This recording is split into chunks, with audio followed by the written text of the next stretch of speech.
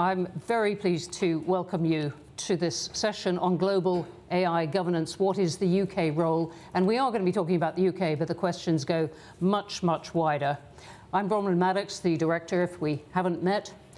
And I can't think, seriously, of a better trio of people, I'm not even going to call you a panel, um, to come to assemble to talk about these things today. We're doing this in partnership with Microsoft and the Tony Blair Institute, and very glad to have worked with them both on this event and with Microsoft on many questions of research and convening ahead of the UK's summit that the Prime Minister has called to discuss AI and governance later this year in the, in the, in the autumn. So thank you very much indeed for that. Well, let me briefly introduce, though they need very little introduction, Brad Smith, president of Microsoft, who uh, I think you said it was the 18th country where you're bringing some of the, uh, these themes, but has uh, written and spoken very widely for Microsoft and for the industry about these questions. And you may have come across his book, Tools and Weapons, on the promises and threats um, of uh, the digital age, and indeed the podcast of the same name.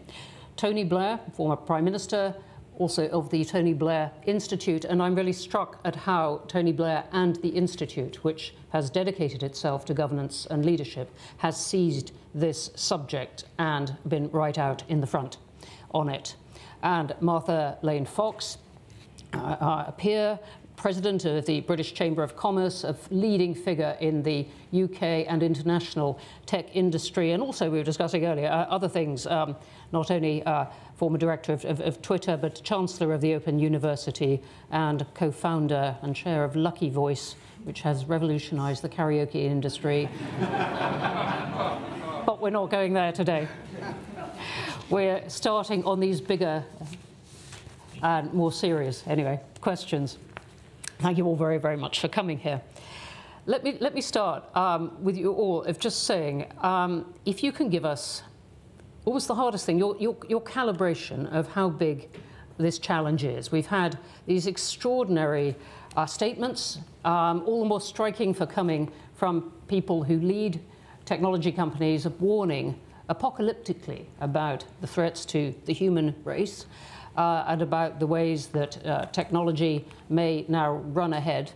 Um, and seeming, you know, if, if, if, if you like, without limit on the threat side, and people also pouring words and words, uh, to my mind, most movingly and excitedly, actually, at the moment, in some of the pharmaceutical and medical diagnostics industry, about, about the potential. How do you see it in its significance? Brad? We've often had this conversation, a few of us inside Microsoft, what invention do we compare this to that seems the most apt? And I think the one that I've come to, others uh, as well, I think is the printing press. It was perfected by Gutenberg in 1452, and it fundamentally changed the humanity's ability to write, to create, to share knowledge, and wreak havoc and bring good as people were able to write and read more books. And I would just analogize briefly that in some ways, you know, it made England and Great Britain a, a, global power because by the year 1500, the Netherlands and England were consuming more books than any other country in the world. And of course, it turned out that the fears of some also proved to be true. There was a concern in the Ottoman Empire, it's what led them to ban the printing press 20 years after it was invented, that the clerics would lose control of religion, that the rulers would lose control of their people, and the calligraphers would lose their jobs. And to some degree, Martin Luther proved that indeed, with the power of the printing press, the clerics did lose control of religion, and the Holy Roman Empire proved that the rulers did and lose control of people, and absolutely the calligraphers lost their jobs. So it's profound. Almost everything that's good and everything that's bad about the world in which we live today could, in some ways, be taken back to that invention. This will do the same thing. Okay. Tony, do you want to comment on that? Yeah, first of all, by the way, thank you to Chatham House for having us here. And it's a great pleasure to be with, with Brad and, and with Martha. And you, you couldn't have two more expert people. And you know, personally, I don't think we've had enough of experts. So I'm. Um, so, Brad, that's a that's an in joke for the British. Uh, but um, and so I'm not going to talk so much because I. I'm not qualified to talk about some of the technical detail of this, but what I do want to say is that Brad used the analogy of the printing press. I use the analogy of the 19th century industrial revolution, but you can get the magnitude of, of that from these analogies of what we're talking about. I think this will change everything. And the fascinating thing, my institute actually once published a, a paper on this um, about three or four years back, which is how long did it take the world of politics to catch up with reality in the Industrial Revolution? And the answer is it took a long time. And in the end, when it did catch up, and things move much faster today, but everything changed. I mean, everything changed. And the modern state was born out of it. Um, modern political parties were also born out of it. So I think this is, we're, we're at the start of a revolutionary change. And the essential thing is that we comprehend it and get our heads around it from the public policy point of view. And you know, sometimes when people, particularly from my own political persuasion on the center left, as it were, you, you know, they say, well, I know we've got so many difficulties. We've got public spending pressures and high taxes and low growth and low productivity. What's our, how can we be ambitious? What's our mission in this world of, of turmoil? And I said, this is your mission. This is going to change everything. So how you understand, master, and harness this technology revolution will define the place of this country and the shape of the world. So get your heads around that and stop spending your time thinking about a little bit more on tax, a little bit less on tax, a little bit more on spending, a little bit less on spending. That is not what the future is going to be about. It's going to be about this, understanding it and dealing with it, accessing its opportunities, and I'm an opportunity person on it, but mitigating its risks. Thank you very much indeed. Martha. Well, sometimes I think the best thing is just to play with this stuff right? And one of the things that I think has happened in the last year is that you are able to play with an AI interface in a way that you have never been able to mm. before. That's a really you know, point. In yeah. the sector, there's lots of talk about AI, AI conferences, every tech sector gig would have someone talking about AI, investors chucking their money into the sector. But what has happened, in my opinion, in the last six to 12 months is that you can, anybody can play with it. In fact, more than that, to um, build on what Tony said, I think it's a dereliction of duty not to play with it if you're in a leadership position, because if you don't understand what's possible, then you're not going to be able to start to understand how to learn, what the right policy decisions make, what the right commercial decisions to make. But it can also show you just the challenge that we have um, sort of basing policy decisions on technology that right now is very patchy no disrespect, Brad, but it's very patchy, and I'll give you two examples. So in 40 minutes, and this is not an, MLF exaggeration, which I can be prone to, I managed to take all of the content that I had created in my lifetime that's out on the web and turn it into a podcast in my own voice. Might take slightly longer for these two, but for my limited catalogue, it was about 40 minutes and pretty good quality podcasts. Don't worry, I'm never going to release them. But then so I thought, wow, that's interesting, right? That's a completely different way of productivity for me as MLF. And then I was thinking, well, if I was starting a business now, what would that mean? I wouldn't have a customer service team. I probably wouldn't have a finance team. I wouldn't have a money of the operations. That completely shifts how you build things in the future. So I totally and completely agree with my other uh, part of the trio. The bit that I think we still have to remember is the quality of the data right now and where we're at in the life cycle, which does make the challenge. Just, you know, to be silly, I've put in this morning, tell me a joke about Brad Smith Martha Lane Fox and Tony Blair. Well, it turns out there are no jokes about us three, so that's not very... They were awful. I'm not even going to bother to repeat them. So I just poked it a bit more because in my experience of playing with this stuff, if you keep poking it, then it gets a bit better.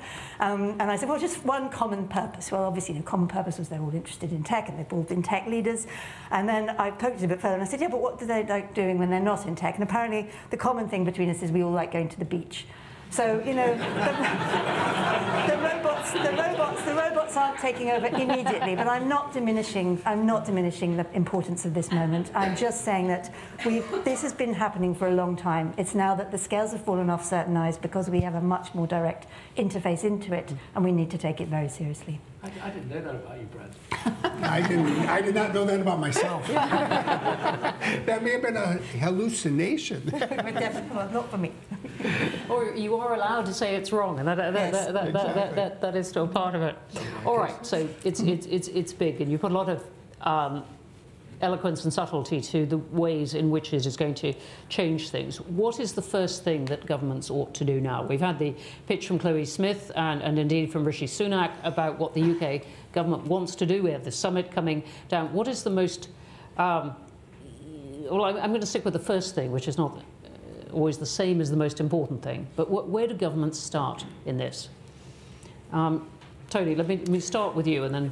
Yeah, I think, I mean, we tried to set this out in the paper, but I think it's probably where government should start with how it organises itself, uh, both to comprehend better what is happening and to start to work through some of the applications of this. Because, you see, I think it, it, it in the end, you do have to reimagine what the state looks like, what, how your public services function in a, in a really profound way. So I think you know, the first thing is to make sure government's properly organised, and you know, we suggest a whole series of things in the paper, which I think, you know, one thing just to pick out is that the foundation model task force that the government's establishing should report to the prime minister. I mean, this has got to be driven from the centre, understood by the centre. But I think then, secondly, which is maybe where you were thinking we, we should get to is well, then what do you do about the regulation part of this? And you know, I think the government's ambition in in trying to make us a, a, a leader in this field is a perfectly sensible am- ambition. But I think to do it, we have to recognise um, two things. Number one, this technology is, and these guys will explain it far better, also changing very fast. And even those people inventing it aren't sure where its next iterations will go. And secondly, Britain's not going to be able to kind of come up with its own thing and just insulate itself, right? So we are going to have to have close cooperation and partnerships with other key players within this, including, of course, the US um, and, uh, and and the EU. So it's going to be, you know, I think this this is an ambition that, that the UK leads in this field is completely possible.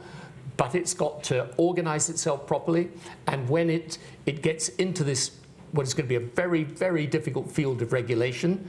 It's got to keep a very open mind on it, close relationship with those who are engaged in the technology. As Martha was saying to me earlier, make sure that civic society and outside voices are heard, but also to, to be aware of the fact we'll need to do this in cooperation with others.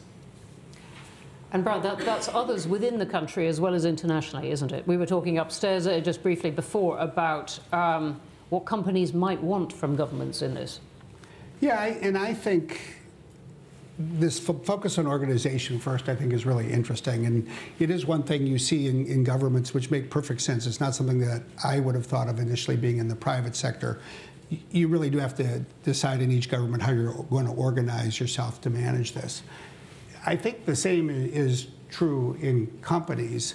And you know, fundamentally, one path here is, and it's a point that, that you've, you've made, start using it. Um, use it in part because to use it is to understand it, it demystifies it. You start to identify the fundamental processes that can be improved, how you boost the productivity of people, how you just serve citizens or consumers or customers in a more effective way. But then it does help you identify the problems that you need to manage as well. And so you start to identify the Which- risks. Which, which are what? I, I'd like to dig into this a, a bit because this all, um, it can sound very abstract. And I know for the, those wrestling with it in government at the moment, it does feel rather abstract. They know they want to do something and they have three months to work out what before this summit. They, The- they, they would be helped by you. Well, the, the- first thing I, I, I would say is, you know, for a number of years, people have been focused on what I will call applications that are powered by AI. And there's been a real almost consensus globally on the principles which point to the problems people need to make sure that they avoid. You don't want to have bias in the computer systems that are deciding who gets a loan or who gets an application approved. You know, so you have to worry about bias and discrimination. You have to protect privacy. You have to focus on cybersecurity. Um, we need to ensure that this technology is inclusive, meaning it's broadly accessible, it's easy for people to use, it's uh, as easy for people with disabilities as without. You have to ensure that it, it's transparent, and I think above all, you actually have to ensure that these systems remain accountable to people, and the people who are using them, who are creating them, are accountable to the public. Now, where the debate has really changed since last 30th of November, when ChatGPT was released, is that in addition to these applications, people have realized, oh my gosh, there are these so called frontier or foundational models that are so much more powerful and can do so many more things than we thought we would see in the year 2023. And this is where I think there's this fundamental connection with safety.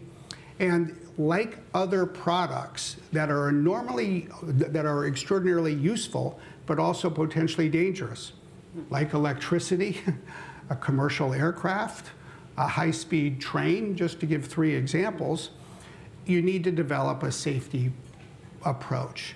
And it starts with what do you want to test? Who's going to test it? How are they then going to measure and reduce the risks that may be associated with it do they have to get a license to deploy it? How do they monitor it after it gets deployed?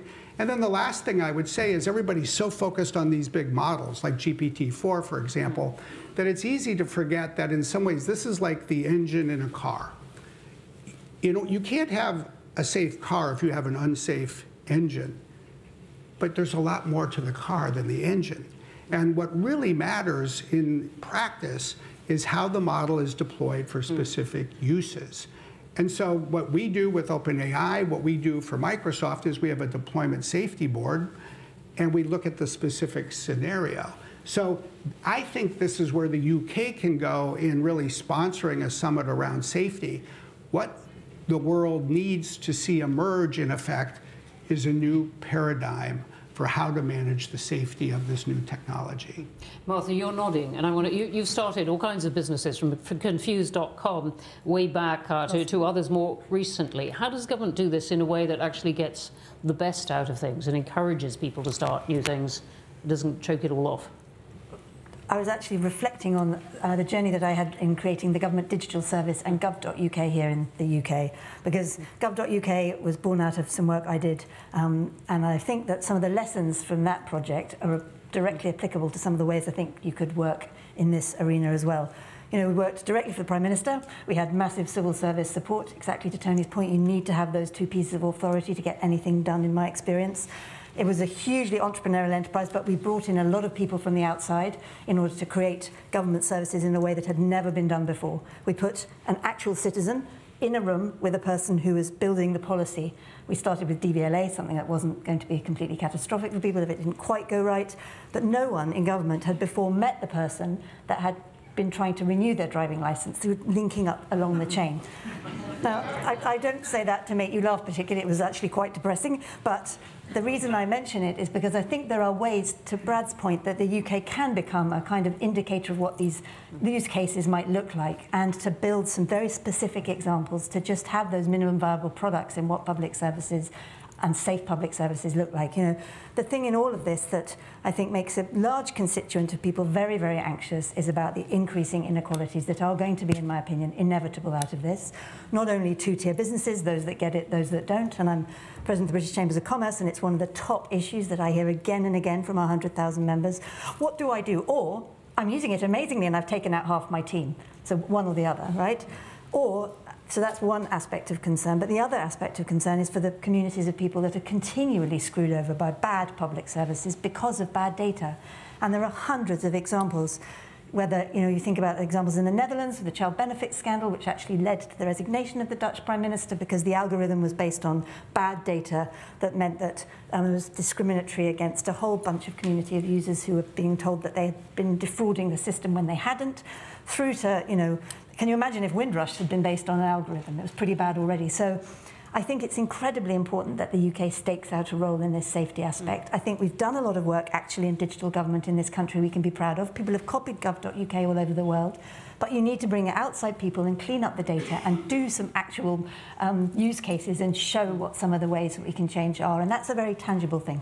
It's fascinating. Uh, One of the things you're saying, it seems to me, is uh, the government should use this, not, Yes. not, not, not just regulate it, but use it itself and move fast to, uh, to use it. Um, and another one is, I, th- I think, picking up on what Brad was saying, to go into the different areas, saying, look, there's not one answer to regulation, but it's actually what you do about transport or about education data, or you've, you've actually got to get, start getting to grips with these, these, um, these particular subject areas, if you, if you like.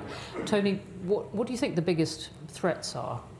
And with that, some of the most urgent things that government needs to do to keep people safe? Well, I think it is urgent because, you know, as Brad was saying earlier, th- th- this is a this is a technology that obviously, because it's a general purpose technology, it can be used for good and used, used for bad. So, I mean, there are risks that fall into the category of wrongdoing.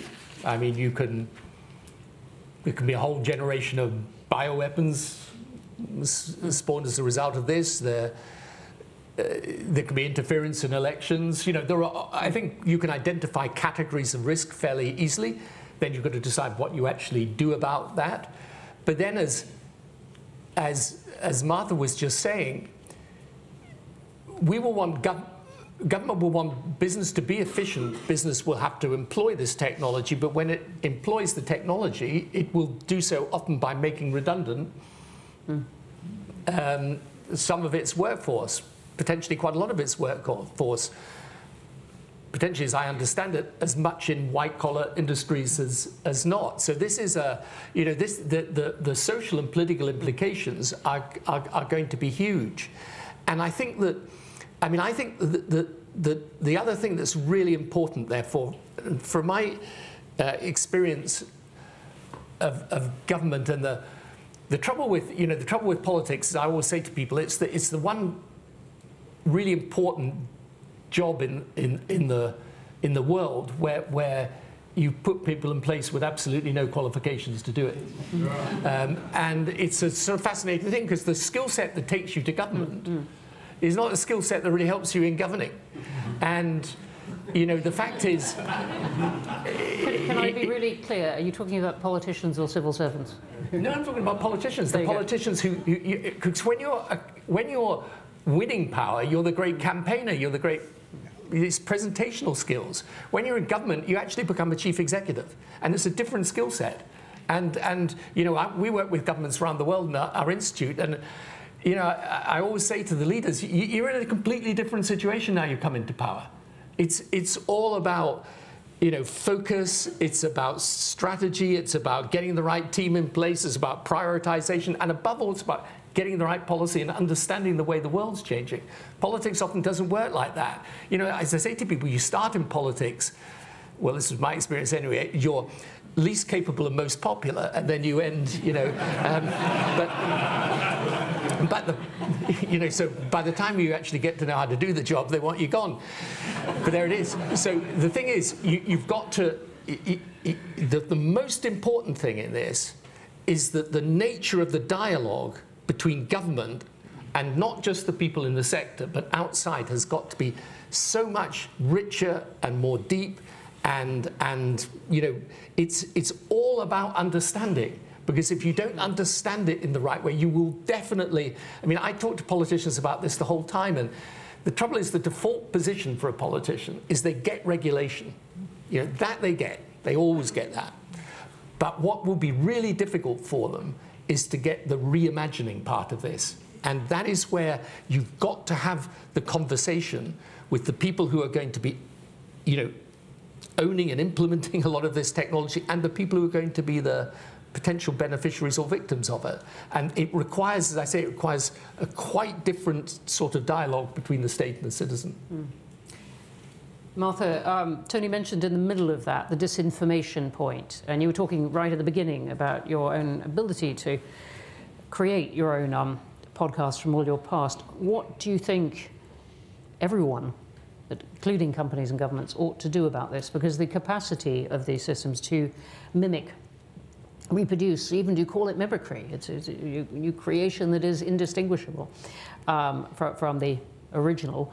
Um, what should be done about this? Should we worry? Do we not? Would we? Do we use it? Do we both of these? But what do we? How do we need to It's, contain it's this? not one thing, and I wish Yeah. I had that. I mean, I don't think I'd be sitting here uh, quite so um, uh, smugly if I had that one answer. I'd be feeling like I need to be executing it and doing it right now because it's so important. It's a myriad of different things. I think it's it's across the piece in a business that both Brad and Tony have mentioned about trying to stay relevant on top of what you're seeing in your business, implementing those policies and trying to see what's coming at you. You know, to use the example of Twitter, we spent a lot of time, regardless of your take on what Twitter is now like a company. When I joined the board in 2016, there was a massive amount of work going on to try and manage misinformation, which was hmm. before the election at that point and, and so on. And you know, that shifted in technical ability, but also what was coming at us just in that period of time. And it shifted again dramatically, clearly in the last year again. So I wish I could give you a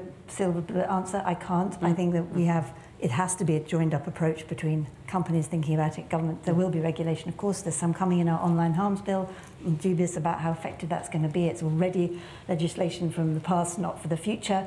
And that's exactly kind of the point we're talking about. That legislation is a brilliant example of something starts, you know, don't let's harm children on the internet, fairly uncontroversial. You'd have thought we could get around that quickly. And it's morphed into this massive piece of legislation that is practically, uh, you know, hardly, hard to get redress as a citizen and hard to deal with as a company.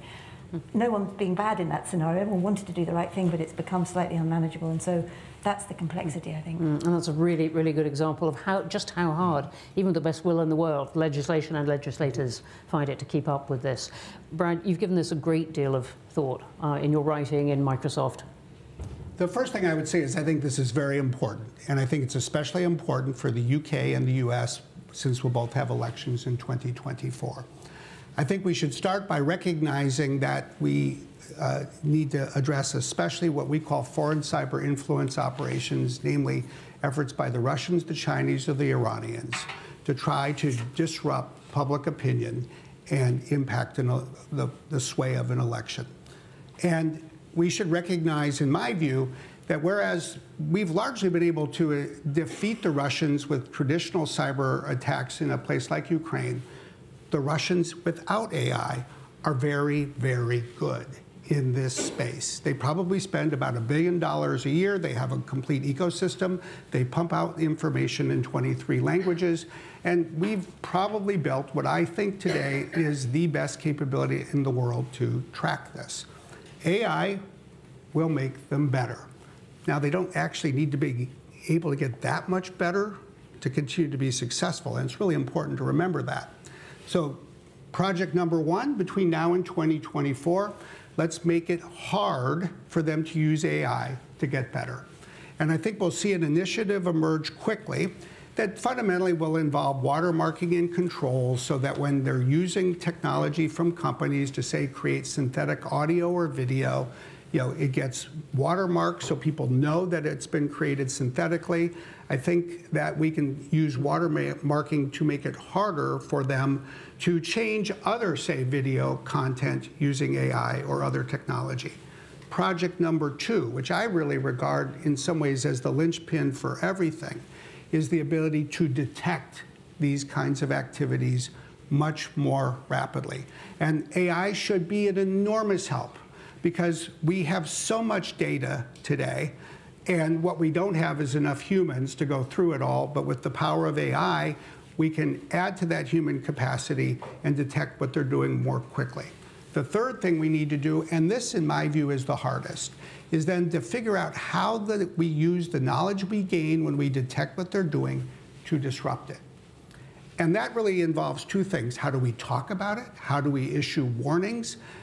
Believe me, for a company like Microsoft, the hardest thing is like, how do we use our voice to tell the public what we see? We do that with other forms of cyber attacks. But this is new terrain, and it's not easy terrain to, to sort out. Um, and what do we do, for example, if you're Twitter or, or LinkedIn or, or Facebook or some other platform, and we see content that has been altered with, say, the intent to deceive? I think we would benefit if governments would revise laws that, in certain instances, would make that an unlawful act. But we'll have to decide do we take it down? Do we make it harder to find in a search index? Do we relabel it so that it is what we know it to be, namely altered content? And we do need to sort this out, I will say, by the beginning of the year if we are going to protect our elections in 2024. Thank you for that and for reminding us that actually these, these, these questions are coming right up at us. Uh, as elections keep doing, but, um, but you, you, the impact is, is really just you know, months away in a sense. I want to ask you all, before we go to general questions, and I know there are going to be a lot, there's a lot online as well, do keep them coming. Do you think we should create a new agency to regulate this? Uh, and my colleagues at Chatham House will know I'm no fan of going around creating hypothetical new agencies. But, uh, and I can tell already from a lot of the questions that that is the way people are thinking. Some people talk about a new International Atomic Energy Agency, like the, the nuclear watchdog, for this stuff. And I would like to know where your instincts are. Uh, maybe no more than that at this point. Martha. I think I would say yes. I think that the capacity to change kind of institutional knowledge and skills at speed is a pretty big ask from where we sit right now. And maybe by being able to inject an enormous energy around joining up the civil society, academic, corporate world together and quickly is most likely if we are creating a new structure. But then maybe it might not need to live forever. It could be a five-year process to then put skills back into countries and departments. It can't be the only thing that happens, but I think it might be one of the things that's necessary. Tony. Yeah, I agree. Um, I just subject to getting really good people to run them. yes. Well, that, that is a big line of discussion of how, how to, the, the world's, the world's uh, technocrats who uh, can manage these things are in short supply. Brad. Yeah, I, would, I agree. I mean, we won't need an agency to regulate every aspect of everything, which is probably a good thing. Um, but I do think that there are certain uses of AI, certain foundational models, and certain applications in critical areas, including, say, using AI to control critical infrastructure, where we should probably want a licensing regime. And we should probably want it at a national level, and we should probably want an international agency Licensing as well. Of, and I'm just looking at a, a question. It's from actually um, Duff Mitchell here. Uh, no, sorry, it's, it's from someone else asking, should people be licensed? Are you talking about companies, people? I'm talking about companies, right. not, not people. Look, the only test I failed in my life was when I moved here in 1989 and failed the driver's test. I was told to feed the wheel, and as an American, I didn't even know it was hungry. Um, so let's leave the individuals alone for a while. Yeah. Let's get the companies under control and figure out what kind of system we need to protect safety. But I do think we're going to want to do this on an international basis as quickly as we can. Because what we're fundamentally talking about, especially if licensing goes to, say, the processes used to develop safety, imagine 10 different countries saying that the safety process in product development each needs to be different. It's just, it's not just that it slows innovation. In my experience, it creates the risk of errors when you have people tripping over each other. So I think we're going to have real pressure for international harmonization very quickly.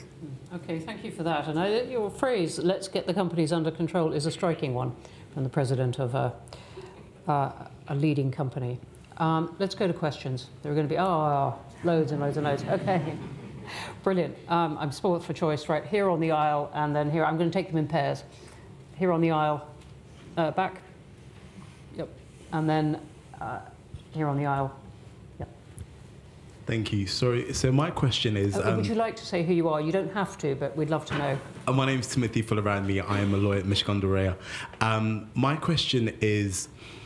Obviously, AI, AI is here. It's impacting everybody's lives. How can we, from in terms of education, how can we help children and young people sort of understand AI and how it works because because of the impact it's going to have on job, job opportunities on certain industries. What can we do from an educational standpoint to ensure that they are equipped to navigate this sort of future AI that we are already in? Thank you. Here on the aisle.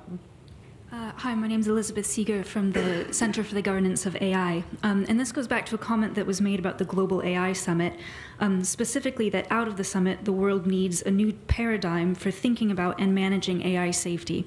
I was wondering if you could expand on, on that paradigm shift. What do you see as our current paradigm, and ideally, what paradigm should, be, should we be switching into? Okay, thank you very much, and thanks for pressing on. This is a subject riddled with um, abstractions and metaphors. Uh, thank you for pressing on that. And I'm going to add a third one online from Dina Mufti saying which jobs will be in, uh, displaced in the UK and which jobs will be needed to bring us down to the core of it. Who would like to start? You don't have to answer. You don't have. You don't have to answer all of it. But I'm going to. All right. We've got young people and how they're going to understand it. New paradigm and UK jobs. Um, so I think in education, actually, AI has got a lot of applications in education itself. Uh, I was talking uh, a couple of days ago to someone who will speak at our, the conference we're having in a few weeks' time. Uh, Sal Khan, who runs this Khan Academy that does uh, um, extraordinary work on, on, on creating programs for young people. And actually, the way that we teach will also be hugely affected by this. And that will be one of the ways, by the way, in which young people um, learn ab about the technology and about its possibilities. But I think in the end, we will probably reform the way we, we, we educate and the curriculum and everything about it.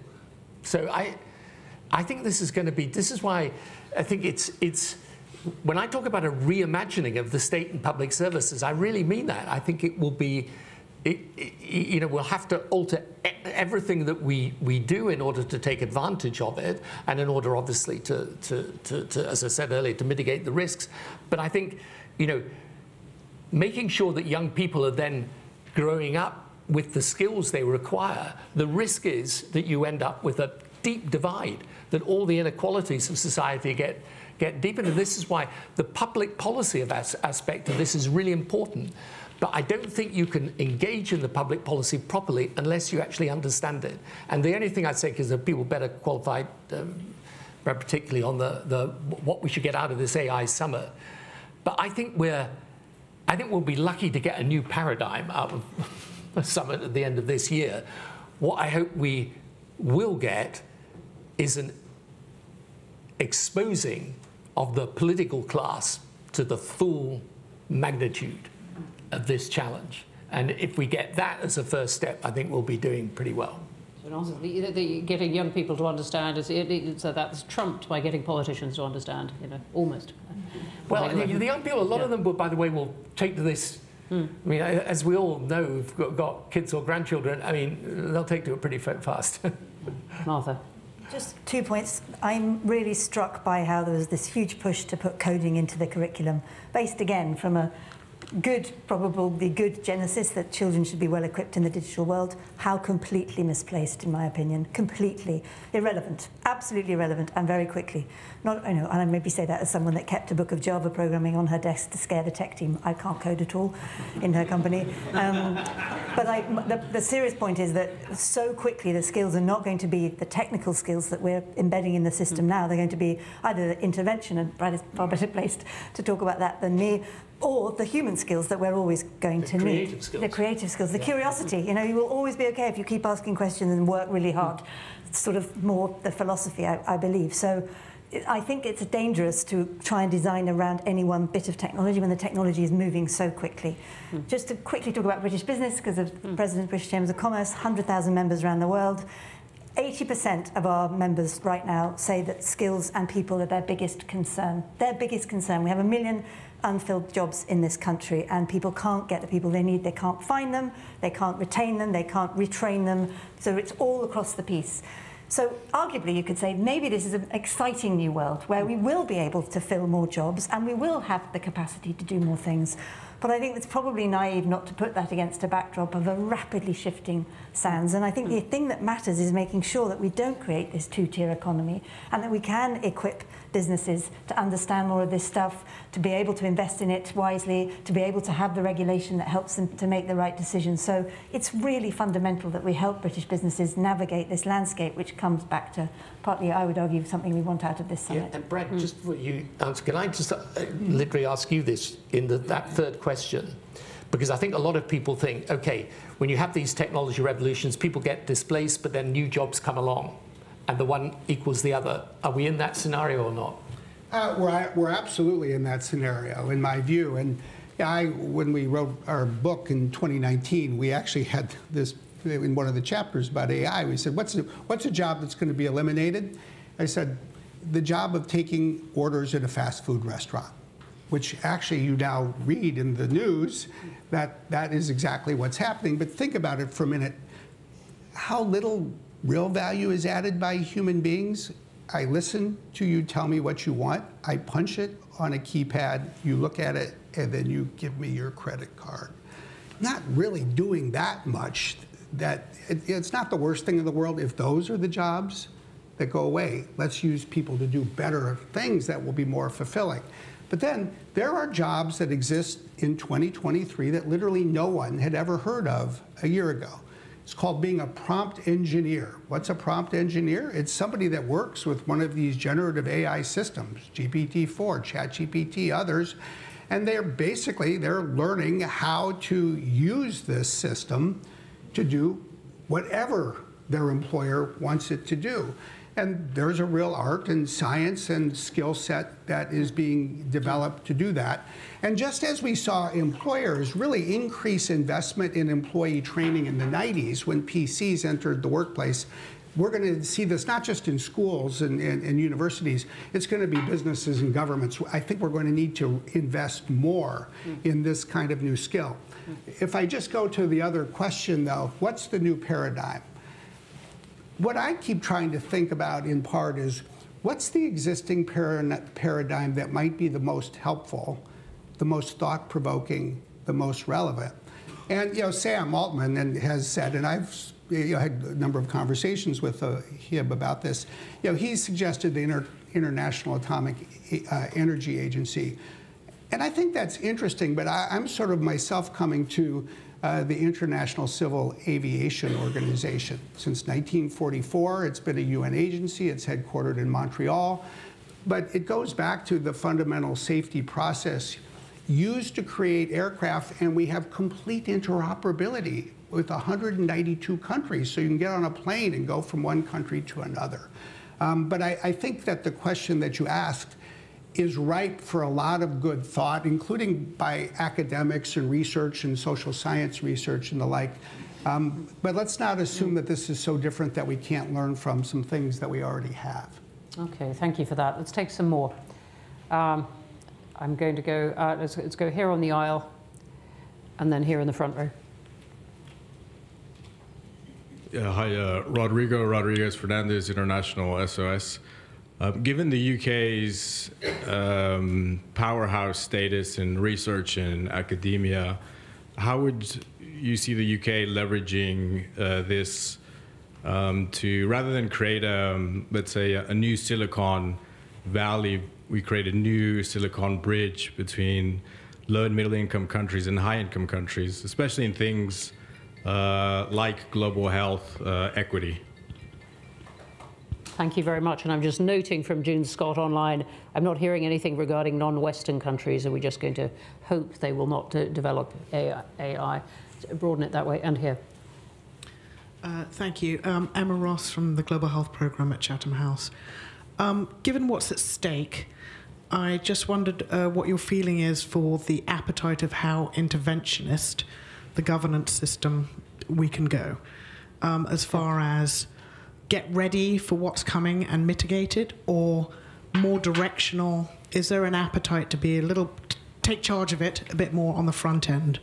Where where are people thinking? Where are you thinking of how interventionist the governance system needs to be for this? Is this a special case, or should this be, you know, the norm?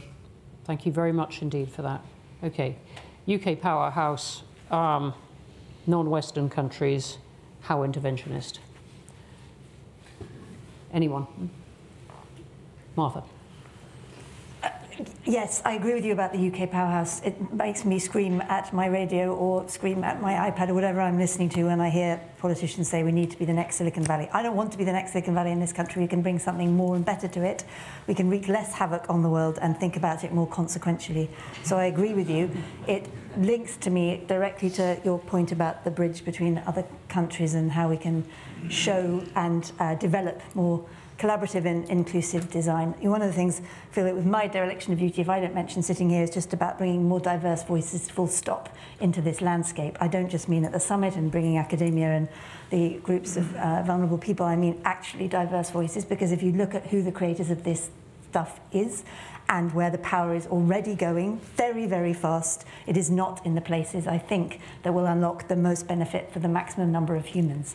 And that matters. So I think we need more younger people, more people from different backgrounds, more people from different um, countries, more people from different genders. And that is so fundamental if we're going to get this right. And I think the UK can showcase some of that, build some of it. And kind of to my point earlier, one of the things I think should come out of the summit is some actual development of use case, good examples of how things can change and shift to show what's possible. That's, that's great, thank you. Uh, Brad, do you want to, interventionist, UK powerhouse, non-Western um, countries? First of all, I think it's very important to be proactive. Second, I think it's good to build on strengths. There is no country that is better positioned than the UK, but we're all sort of starting this race. And if I were to be candid, a lot of what is said in this room today, I've heard said in 17 other countries as well. We're the name it powerhouse. So, how do you really make yourself successful? And I think it's you start to do what you suggested. What are our strengths? And in particular, what are the strengths that we, where we can use AI to make them even stronger?